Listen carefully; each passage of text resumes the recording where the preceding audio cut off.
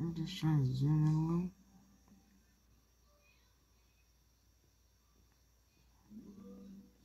What's the